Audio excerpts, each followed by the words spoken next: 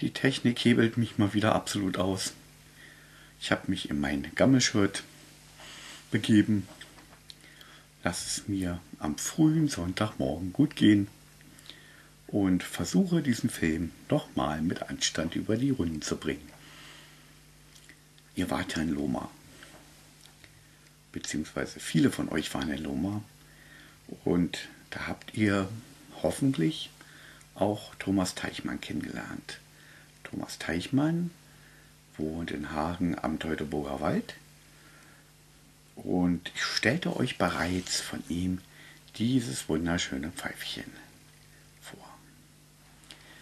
Mit dieser kongenialen, nachempfundenen Sandstrahlung, die er mit dem Dremel macht.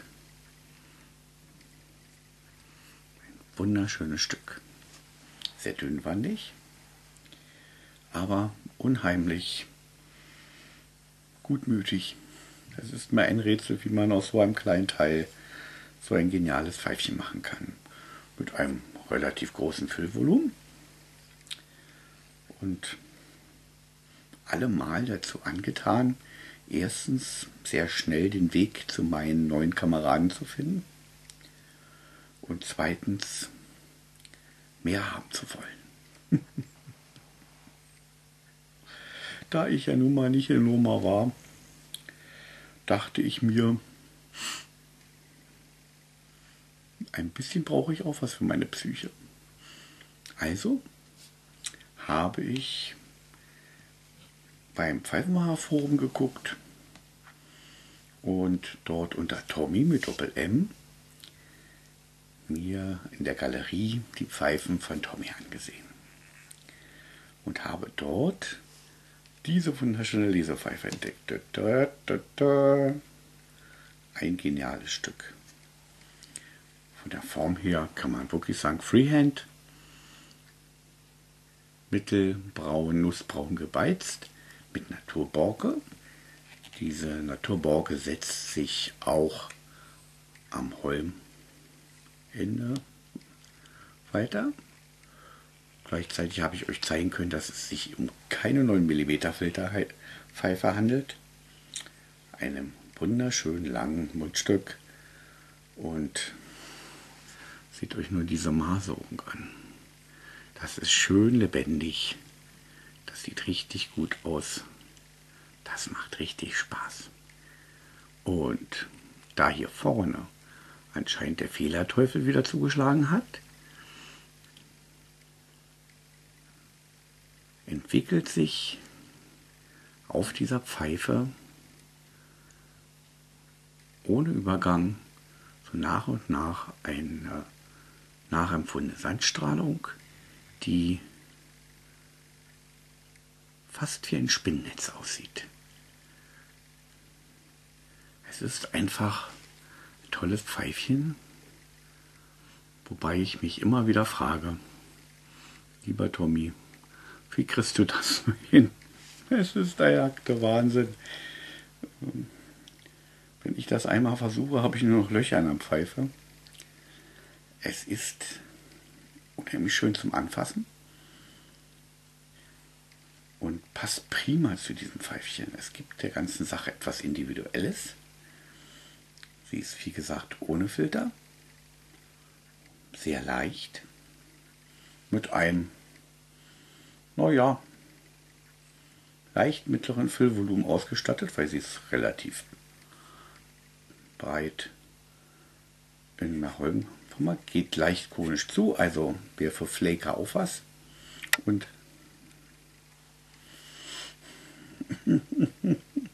das ist eine dieser Pfeifen, mit denen kann man prima basteln, rumhantieren, weil sie wiegen nichts und man könnte theoretisch damit auch lesen.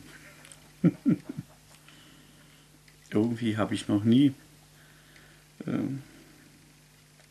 die große Freude daran empfunden, solche wunderschönen Stücke beim Lesen zu verwenden. Ich weiß auch nicht warum, aber vielleicht möchte man seinen Lesegenuss nicht durch Stopfen aufpassen, weil Stopfen ist ja doch eine ganze Ecke entfernt und und und unterbrechen.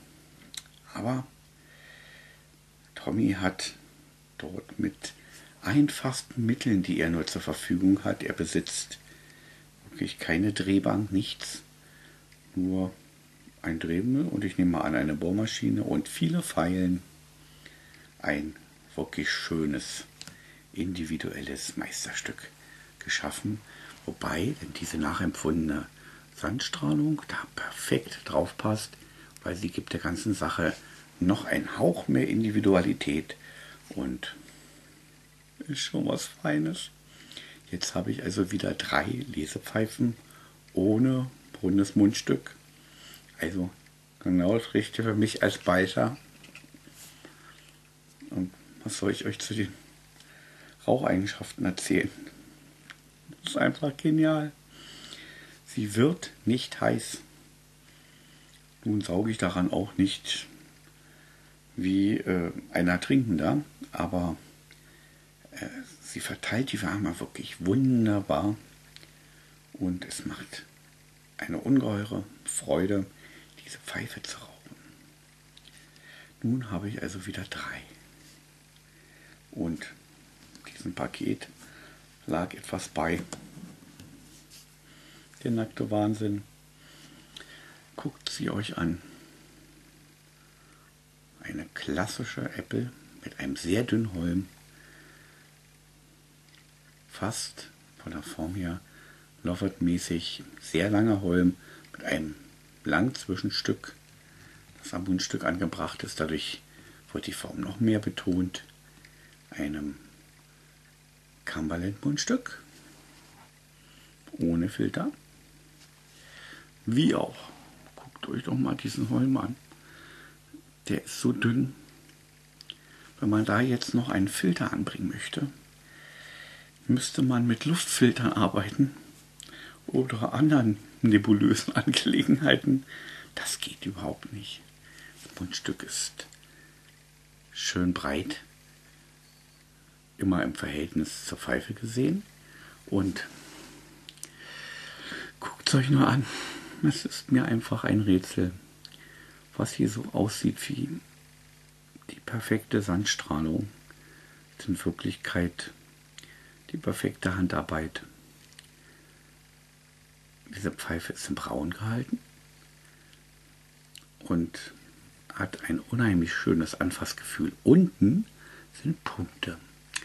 Das ist natürlich klar, weil würde es sich um eine normale Maserung handeln, wären am unteren Teil natürlich die Bird Eyes zu sehen.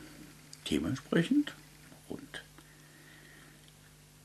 Gekennzeichnet ist sie wieder mit dem zulaufenden T,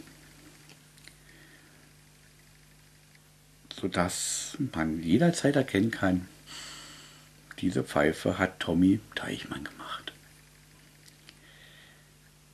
Meine Lieben, ich kann euch dieses Handgefühl gar nicht beschreiben. Das ist eine ungeheuer schöne Erfahrung, da mit den Händen drüber zu gehen. Der Kopf ist glatt gelassen. In einem ja, sehr dunklen Nussbraun. Das Füllvolumen ist mittel, leicht mittel und diese Pfeife hat kein Gewicht. Äh, man, man könnte sie glatt einfach so vergessen. Man merkt es dann, wenn die Asche auf den Boden fällt. Aber das ist ein wirklich kongeniales Pfeifchen, das nicht heiß wird. Die Wärmeverteilung erstreckt sich fast über den gesamten Holzbereich. Ähm, und sie lässt sich wirklich prima fassen. Natürlich für die meisten von euch, die ihr Filterraucher seid, nicht unbedingt das Nonplusultra, aber für mich schon. Jetzt habe ich dann wieder das große Glück, meiner kleinen Zahlenmythologie ein wenig mehr Nahrung zu geben, indem ich jetzt drei wunderschöne Schätzchen von Tommy habe. Ich bin glücklich. Bin wirklich glücklich, weil ich kann mir diese Arbeit nicht wirklich vorstellen, es muss viel sein. Man braucht ungeheuer viel Geduld, sehr viel Formempfinden und auch ein gutes Auge, um so etwas hinzubekommen. Lieber Tommy, ich kann dir A nur für solche schönen Stücke gratulieren, wer so etwas fertig bringt. Ohne Maschinenpark. Der weiß schon, was er kann. Und es ist auch nicht so leicht, solche Sachen nachher wirklich fertigzustellen. Und daher bin ich umso glücklicher, dass ich die große Ehre haben darf, diese schönen Stücke bei mir einzureihen. Sie werden in meinem neuen Pfeifenschrank, ich hoffe es, einen Ehrenplatz kriegen und bitte sei auf diesem Weg nochmal vielmals gedankt. Es ist wirklich nicht selbstverständlich, dass man solche Stücke bekommen darf und man sie auch noch bezahlen kann. Tommy ist wirklich ein sehr bescheidener Künstler, der in vielen Dingen eine ähnliche Auffassung zur Pfeifenmacherei hat wie unser Murat. Ich glaube, beide sind im besten aller Sinne total durchgeknallt, was die Qualität ihres Werkes angeht.